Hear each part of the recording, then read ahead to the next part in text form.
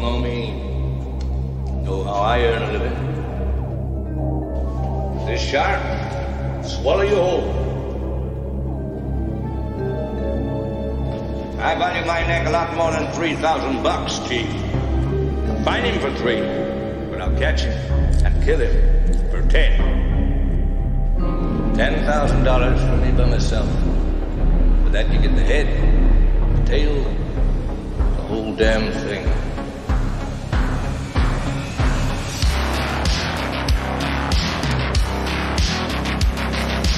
You yell shark. We've got a panic on our hands on the 4th of July. Mr. Vaughn, Mr. Vaughn, I pulled a tooth the size of a shot glass out of the wreck hull of the boat out there, and it was the tooth of a great white. A what? You're gonna need a bigger boat. Love to prove that, wouldn't you? Get your name into the National Geographic. Now, I'm not saying that this is not the shark. It probably is, Martin. It probably is. It's a man-eater. It's extremely rare for these waters. But the fact is that the bite radius on this animal is different than the wounds on the victim. Get out of that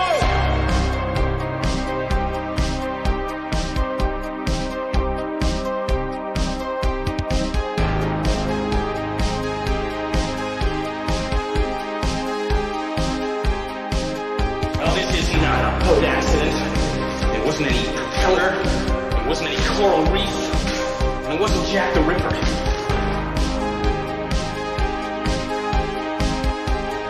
It was a shark. I'll never put on a life jacket again.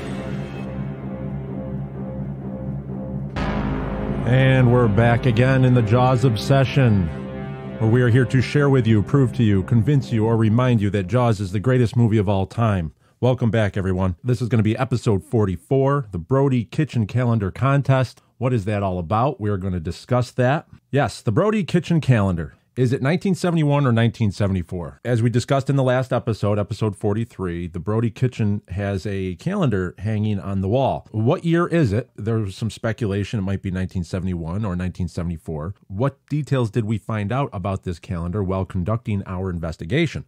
We're going to get to that in this episode. And we have a exciting uh, contest, a first for the Jaws Obsession. We have a contest, a giveaway contest that will be announced at the end of this episode. So listen to the details that we talk about in episode 44. So we're going to have a giveaway. And it's going to be a lot of fun. It's like one of those old radio shows here. But before we get into that, we're going to get to some emails. And uh, of course, we have a Book of Quint update. What is this? Here it is. Ready?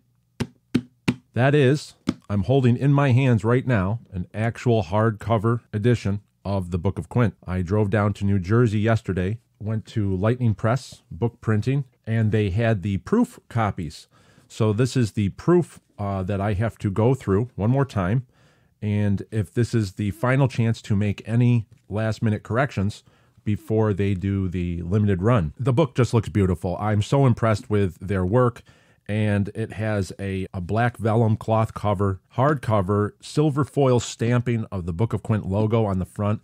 It looks like a old time novel that you would pull off the shelf at a, at an old bookstore in New England somewhere. We even have a natural color paper that was used to have a good presentation. Very exciting. Very exciting to actually be holding this in my hands, and uh, I have about two maybe two days tops to get through this. If there's any other uh, last minute corrections or errors, I'm going to have to amend the files and then be in contact with uh, Debbie down in at Lightning Press, and um, she's going to be working with me in order to adjust anything that might be corrected. That's to stay on schedule because we want to get the run started so we can have the books to mail out to the backers in time for Christmas. To do that, we'd have to get these before or around Thanksgiving. So that's why this we're we're down to the we're down to the pinch. What I'm going to do is I'm going to put a photo update, take a nice picture of the book, send it out to the campaign backers to all their email. If you haven't backed the campaign, you can also see this. It's also going to be on uh, jawsob.com on the notes page. I try to put all the updates on the notes page over at jawsob.com. You can also go still follow the links to the indiegogo.com Book of Quint page, even though it is not, it, even though the campaign has closed. you can still view the updates there and you can read along as as we're getting the most current information because I am sharing this with the backers and trying to keep everybody on the same page as the developments increase. This is all exciting. This is all happening in live time as as you're hearing this. This is all what's happening. Every day is something new. There's there's constant work going on in order to get this pushed forward. I have a few emails here. Adrian wrote in, "Hello Ryan, thanks very much for all that you are doing for Jaws and Jaws fans around the world. As you say, we have always known that this is a great people movie that just happens to have a monster shark in it. To be able to explore and examine this in slow time is a real treat. I, I agree, Adrian. That's it is. It is a real treat. And it's episodes like this where I've learned something new about Jaws and it's episodes like this and, and emails from the listeners that kind of push the Jaws obsession in a direction. And then I learned something completely new, which, which I'm going to share with you all when we talk about the Brody Kitchen calendar. We would not be able to do this if we didn't slow down and actually examine the greatest movie of all time and, and, and take our time and look at this. I agree that that was a really important comment by Adrian that um, it is a real treat to slow the movie down and actually enjoy the details that are going on inside it. So Adrian continues. He says, Just a quick question. I really enjoyed the way you located the place and date of Quint's birth. However, I have always wondered how convincing Robert Shaw's American accent is to an American. Does he really sound like an Amity fisherman would sound? Although I lived in the U.S. for a few years as an English born English speaker, it's very difficult for me to gauge how authentic his American slash New England English sounds to someone who worked or grew up there. I know long serving sailors pick up a strange accent drawn from the hundreds of people they meet and places they stop at. And I suspect that Robert Shaw did a very good impression of that. But as we know, it's often the smallest details that make the difference. As I say, just interested in what you think. Best wishes and thanks again, Adrian from London, UK. Adrian, thank you so much for writing in. That's that's a great great email and that is almost a that's a whole episode in itself which I'm going to have to put on the list because I don't think I'm alone in this. When I was younger and I watched Jaws, I never even thought Robert Shaw, I thought he was an American actor. I didn't even know, I, I did not know the details about Robert Shaw. So I only knew him as Quint.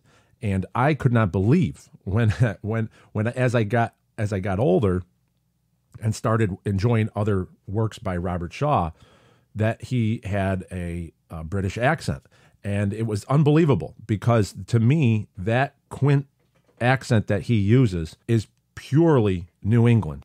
But it's New England, but you can't quite place it because, like you said, and it's very true, like Adrian pointed out, that long long serving sailors pick up a strange accent drawn from the hundreds of people they meet and places they stop at.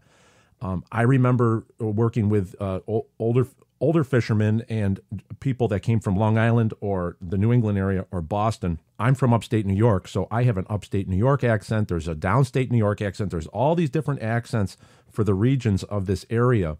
And if you were to have someone that moved around a lot and was all over the world, he would have a, a little different accent than the others around him. And I think the Jaws movie has a lot to do accents have a lot to do with uh, telling of characters some of the backgrounds of the characters uh, it, because accents play a very important part. Even you have martin and ellen brody kind of playing off of the in amity you say yad and and all that at the beginning of the movie. So there's already uh, kind of an accent undertone that awareness of accents in the movie so when you see, when we're introduced to Quint, he does not sound like the other Islanders. If you listen to Bad Hat Harry, that's pretty much what an Islander would sound like. What's interesting is the mayor, who is an Islander, does not have that accent. So now we can deduce that the mayor spent time away from Amity when he, when he was younger. So he left and then he came back after a period of time. So he lost a bit of that accent. I just think that's really interesting that you picked up on that because Robert Shaw is flawless. He has a, a little bit of a tinge of Irish and Boston in there. It's just great. Everything's great. It's just, uh, uh but there's the the Americans in there, and he's got the, uh, but the American accent is in there, and he's got the baritone, he's got the growl so like the lower the lower register going i for the longest time did not know he was british that that was for for like my complete childhood. It was just mind blowing to hear him talk outside, like on a talk show, like on the Dick Cavett show or something. It was just wow, that's him. Wow, okay. Now, so that's why I consider Robert Shaw um, performance of Quint to be the best character performance of all time. And I explained that in one of the other episodes. Uh, it might be have been in the episode what what he was uh, what Adrian was referring to when we isolated uh, Quint's age. He was referring to episode twenty four. How old is Quint? That's where we um, that's where I broke down all the clues of the areas and the dialogue in Jaws to find out where Quint hailed from most likely where Quint hailed from, but also his age. I might have mentioned it in that, and I'll say it again right now, is that I do believe that Robert Shaw's portrayal of Quint is the best character performance of all time. In defining a character performance is when an actor completely modifies who he is. Most of the times you see actors, they will play their best role will be playing themselves.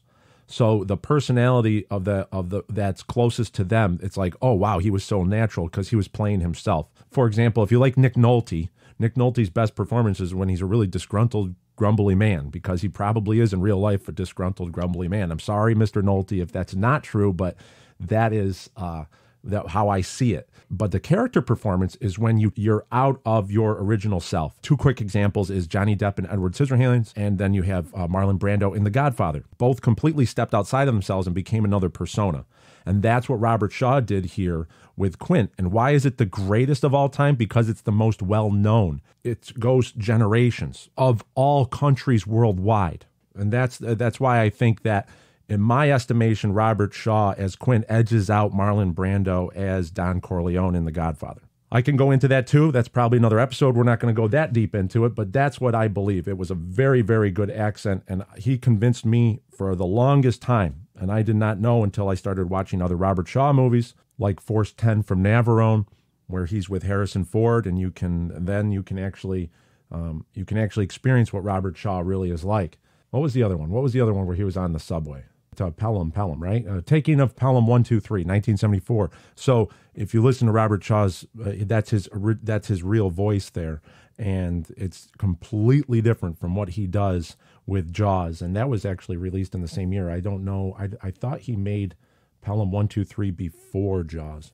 Oh, then you have Lonnegan in The Sting, of course. Why, why? I mean, just it's just unbelievable that he can he can jump in all these characters and then he's Quint, and there he is. He's completely convincing. So, uh, thanks, Adrian. Thanks for writing in, thanks for highlighting that. We're gonna, maybe I'm going to have to organize a, uh, an accent analysis of Jaws.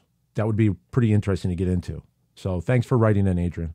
Uh, John K writes in from also from the UK. We have a lot of a lot of downloads of the show is in Great Britain, UK. There's a huge following there, and uh, uh of Jaws. A lot of Jaws fans because as Jaws is an American film, it's also uh, shares it's a British film as well because it has arguably one of their greatest actors of all time, Robert Shaw, in his greatest performance of all time. We share with England like this. Uh, there's an American English relationship going on, American British relationship going on with Jaws.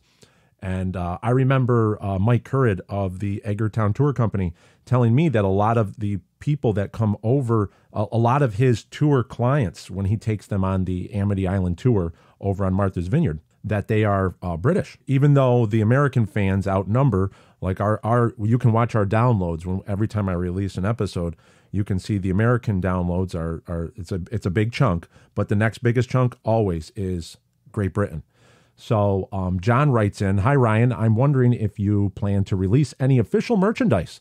I've got the original Jaws poster, which is framed on my wall, and a Book of Quint poster would go perfectly with it. Keep up the great work, John in UK. Thanks, John. Thanks for writing in. As far as the merchandise goes, I actually had a conversation with John Tedder, our orca specialist who runs Quint's Sharkin' Shack over at Etsy.com. And I don't see why we can't. There's going to be stuff coming in the future it's just that we have to uh, the the book has to I have to get the book stage done first. Then we're going to be toying around with merchandise. Why not? I mean, we already have stickers. Uh, why not? It's a great logo. It uses John's Orca font that he created. He created that Orca font by hand, and then I modified um, Quint on the pulpit to match up with that. It really came out nice, and that's why I chose it. It's kind of a it's a good branding, and that's why I chose it to go for the cover of the book for now. This is remember these are the limited edition printing that I need to take this book now. I'm going to have to reach out to agents for representation of the Book of Quint in order to to walk it into major publishing houses in hopes that it gets a, a wider publication. So uh, stay tuned for that. I'm sure we will. I'm sure John Tedder and I will work something out via his Quint Sharkin' Shack with Book of Quint merchandise. That would be really cool. That's a great idea. Stay tuned with that. Thanks for writing in John K from the UK. Let's get into the Brody Kitchen calendar. Mom, I got cut. I got hit by a vampire. You guys were playing on those swings. What? Those swings are dangerous. Stay off there. I haven't fixed them yet. I think you're gonna live. It's not the biggest Hello. thing I've ever seen in my life. So that's the scene between about six minutes and five seconds to six minutes, 18 seconds in the movie Jaws, where young Michael Brody comes in with the bloody hand, and you see uh, the calendar hanging on the on the left side of the screen. If you look at the uh, if you look at the title card for this broadcast that's on Spotify or or if you go to jawsob.com and you look at the episode section, I always have the title cards on each episode. You'll actually see I'm going to isolate that frame and use that for the title card. So, uh, yeah, that's the scene that features it. And honestly, and also the calendar makes another appearance when you have uh, uh, the dinner scene with Martin Brody and young Sean Brody and Ellen is against the door frame, and then she goes to answer the door. Matt Hooper comes into the house. You see the calendar hanging in the back wall there. That's that's where what we're talking about. That that would have been around 38 minutes into the movie. That's the scene we're talking about when we're discussing the Brody Kitchen calendar. Phil wrote in on the last show. Phil from Superior, Colorado, wrote in about uh, that he was in the IMAX theater and it appeared that the woven hanging calendar with a bird on it in the Brody kitchen. It, he believed it was the year 1971. Went into this whole investigation. Phil was not the first. We've actually uh, John received through his uh, social media. Uh, remember, John is on OrcaRebuild.com and he's also at Quint's Sharkin' Shack at Etsy.com. But if you go to uh, the links in the description of this broadcast, you'll always see John Tedder's social media down in the description of this broadcast on whatever platform you're on. So if you follow him over to his Instagram, his YouTube page for Orca Rebuild, you, you'll see that he has bigger followings and um, people will toss questions to him as well. And he'll try to answer those as best. And he was fielding a couple of these where people believed after the IMAX release, they said that calendar says 1971. Before we get into that answer, what we discovered, we got to talk about what that calendar actually is. What that calendar actually is is a tea towel, T E A, like a like an English breakfast tea. It's a tea towel. Well, what are tea towels and how can you use them? Um, I went to thespruce.com. I'm going to put this article on our show notes. Everybody, the show notes are going to be uh, important this uh, for this episode because I'm going to be putting a lot of photos up there of details and articles and descriptions about what I'm going to talk about here. What are tea towels and how can you use them? So this article over at thespruce.com by Mary Marlowe Leverette. You may know them as dish towels, but tea towels have a history all on their own.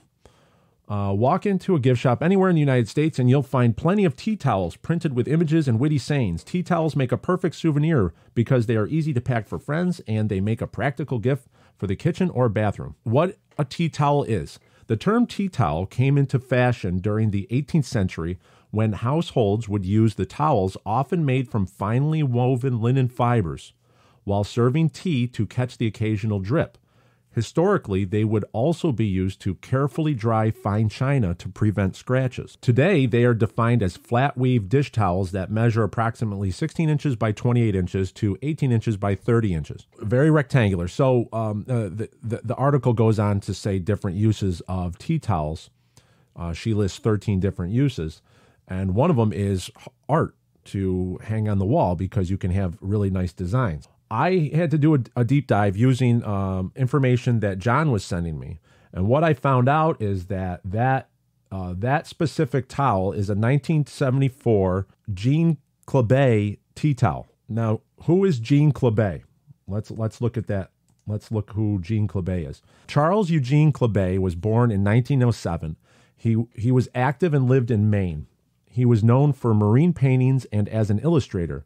He primarily worked in watercolor, although some of his paintings have been reproduced as fine art prints. His subject matter is usually a marine landscape with one or more sailing ships. Yes, Gene Klebe lived to 1985 in uh, Bristol, Maine. So he was an artist that lived in Bristol, Maine, and he did a lot of different. Uh, he did watercolors. He did he did a lot of different art. But one Gene uh, Klebe, K L E B E. If you look on um, our show notes, I'm going to show you that he was he was exceptional with uh, wildlife drawings and art and he did great. Uh, his birds were excellent, and uh, but it was mostly um, uh, from Maine. That so he had that uh, coastal boats in a harbor. Very talented artist. Uh, there are no coincidences in the Jaws obsession, and I was doing some research on Gene Klebe, uh, trying to find any information ab- about this gentleman. So he lived in Maine, and there is a magazine called Down East. It's still around today. It's the magazine of Maine, and it's all about um, it's a vacation guide, calendar events for the state of Maine.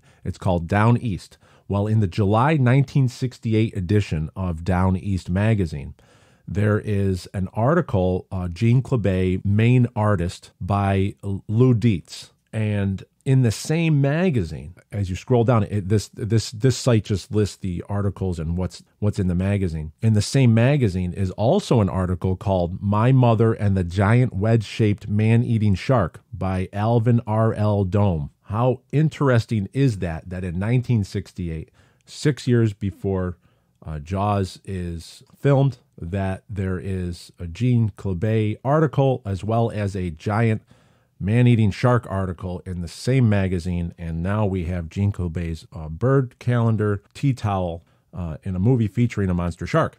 So I think that's really interesting. Those are all little, uh, there are no coincidences in the Jaws obsession. Uh, what happens is, is those are just little signs that all these themes intersect with each other at all times. I thought that was really special that I, I saw that. I'm going to highlight that and put that on our show notes. If I just thought that was a neat little off ramp into other areas of thought while I was researching this tea towel. Those calendars were issued every year. I found one from a picture of one from 1967. So it's an actual uh, 1967 tea towel art with the Gene Klebe bird art on it uh, calendar. So it's the same. It's a, so it's all the it's the new calendar. So they would update it every year. Now, if you look at the details, these went on for a number of years. I we've seen 1967. I have 1975. There's a 1971 for sure. And then, of course, we have 1974, which is featured in the movie Jaws. Um, if you go to the show notes, you'll see a self portrait of Mr. Klebe. You'll see uh, some of his art there, and you're going to see various photos of different years of the Gene Klebe tea towels. You can see, and as you look at the detail, you're going to see the numbers, the font used for the date is actual it's like an art. It's a it's a it's a little it's like a design. And it's not solid script. So that's going to come into play later on about this mystery of if it was a 71 or 74 so that's going to be on the show notes. So now we know who Gene Klebe is. We know it's a tea towel and uh, that's the calendar and it's used it was used back then for uh, designs and you could hang it on your wall. So to solve the mystery of if it was 71 or 74 i turned to our resident orca specialist john tedder. And john of course you know when uh, in the avengers when uh, they when the iron man says we have a hulk well here on the jaws obsession we have a john tedder. And what happens is is that he comes out with the most amazing information when you least expect it. So I was talking to him on the phone, and all of a sudden he goes, "Oh, I have that towel." And I said, "What do you mean you have the towel?" He goes, "I." He goes, "I have what I believe is the closest thing to that towel." And so he, what he has, he's taken some detailed, really detailed photos. He has a 1974 uh, Gene Klebe calendar bird towel that he purchased from a secondhand dealer from that was from a yard sale where the seller insisted it was from her parents' house on Martha's Vineyard that sold in the early 2000s. The description that the seller was saying about her parents and the house, they all fit the Brody house pre renovation. Remember, the Brody house has been renovated. So when you go to Martha's Vineyard and you see the Brody house, it looks nothing like what it was in 1974. It also fit the description of the age of the couple that owned the house during 1974's filming of Jaws. So this is the so this is where uh, John's 1974 Gene Klebe tea towel comes from. It also has the wooden dowel in the top, and it's folded over, and it's has the hanger. So you, this is how it would have hung on the wall, just like the Brody house art that you see in the movie.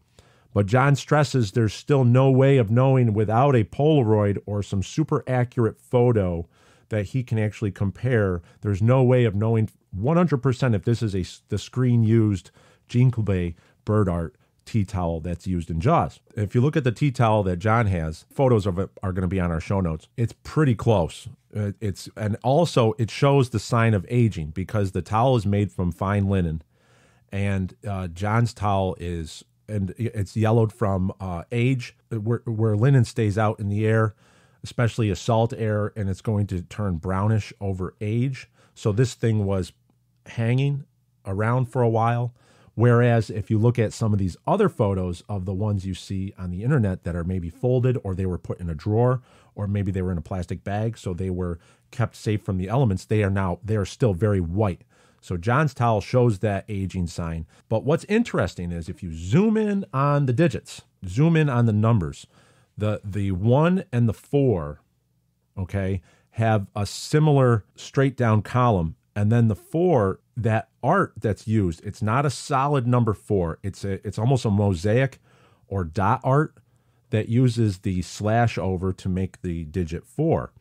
Now, when you see it in IMAX or if you see this in the movie theater, and I'm going to put a screenshot of, of from the DVD, if there is a slightly out of focus lens at the theater, or if you or if something is not as crisp, you can actually see that does look like a one. But if you look at the HD uh, 4K, we had Dale from England emailed in uh, a super 4K detail of the uh, calendar, as well as we have the John calendar. You can actually see that it would have been a number four. Um, John also sent over a Blu-ray screen screen grab where it's enhanced. We're, to, we're we went total CSI on this. We used uh, Dale's image from England. We used uh, John uh, John's real evidence. So we went total CSI, and we totally would. Now we have proven the one on the wall is a four. You just have. It's just because of the way those digits are drawn. There, it's a it's a fine paint that if it's slightly out of focus, and remember this was filmed on 35 millimeter, probably Kodak stock back in 1974. The film was not as uh, crisp as it could be today if you were using 35 millimeter film today. So what happens is is you lose that slash over with the background because it's in the background. So it looks like a one, but it really is a four. And um, I think I invite everybody over to the show notes to see our evidence and to show that it definitely is a 1974 calendar. And now there should be a, a big run on uh, ant- on eBay antique 1974 Gene Klebe bird art tea towels. For all you serious Jaws fans out there with your collections, how many of you have one of those hanging on your wall? Uh, now you're going to need one. See, so that's what the Jaws obsession does. Just when you think you're coming out, we pull you back in. That's what we do here on the Jaws obsession. okay, so so let's get to the let's get to the big contest. Let's get to the big contest. The big contest here is we're going to do a giveaway. We are going to do a giveaway courtesy of uh, John Tedder and Quint's Sharkin' Shack over at Etsy.com. You can follow the links in the description of the show. Uh, John has offered a care package. What he has are uh, a lot of little knickknacks, Jaws uh, stickers, cards, and really cool stuff. John has over there that are for the serious Jaws fan, and he's going to mail you the winner of this contest. He's going to mail you a care package, courtesy of Quint's Sharkin' Shack at Etsy.com. Um, for the first person that emails into me over here at the Jaws Obsession at jawsob2025 at gmail.com, the first listener that emails in all six species of bird that are on the Brody Kitchen calendar, the Brody Kitchen tea towel. If you look at our show notes, but you're going to also have to dig around the internet. The first person to get all six species of bird, email to me at jawsob2025 at gmail.com. First person, I will let you know that you are the winner. Then you just send me your address, and John will fire off a Sharkin' Shack Jaws Obsession care package to you. What fun! What fun. That's how we get into the Jaws obsession. We go right in. How about that? And then we'll reveal the answers on the next episode, episode 45. Always great to see this. Always great to have you here. This is there's a lot of things going on. I hope to have a very big special announcement on the next episode because I'm going to be back here on Tuesday with some updated information with uh, episode 45. Thank you for listening this week. Now we all know the great mystery has been solved, it is a 1974 calendar, so that proves that it is definitely is 1974 when Jaws takes place. And now we all know about Gene Klebe's wonderful art and those wonderful tea towels he was doing in the late 60s into the mid 70s. Thank you very much for listening. Show me the way to go home. I'm tired,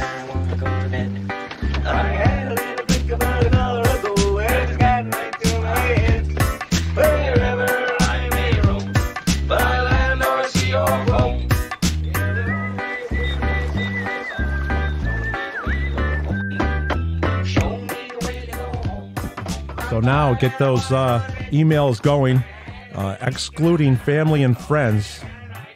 They're, you're ineligible. All listeners, if you can email in the six species of bird on the Brody Kitchen Tea Towel calendar, you're going to win a prize. Courtesy of Jon Tedder and Quint Sharkin' Shack over at Etsy.com.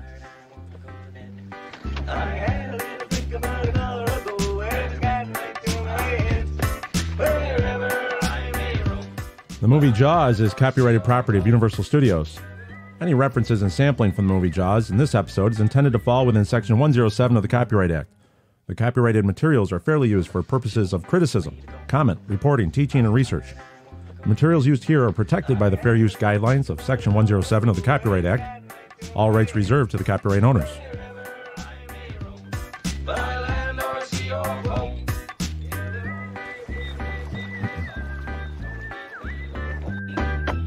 Thank you very much for listening this week. Be sure to comment, share, subscribe to whatever platform you're listening on. Those comments and those uh, five star reviews really help us, especially over on iTunes. If you're over there on Apple Podcasts, uh, the, the good reviews really help us push the word out. Same with Spotify.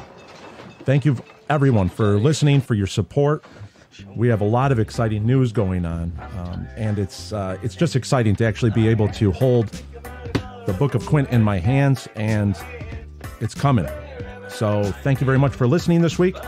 Farewell and adieu, and show me the way to go home.